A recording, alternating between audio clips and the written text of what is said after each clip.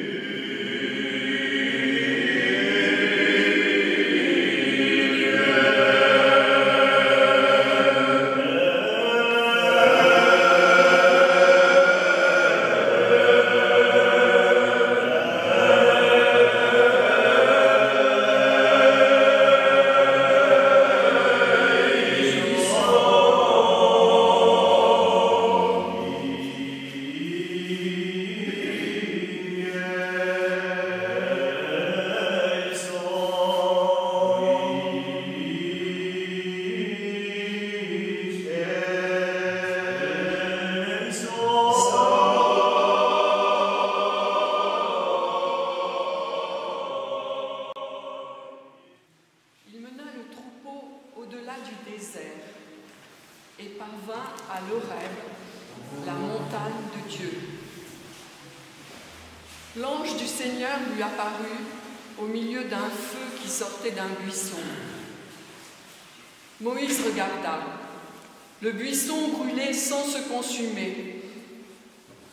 Moïse se dit alors, je vais faire un détour pour voir cette chose extraordinaire. Pourquoi ce le buisson?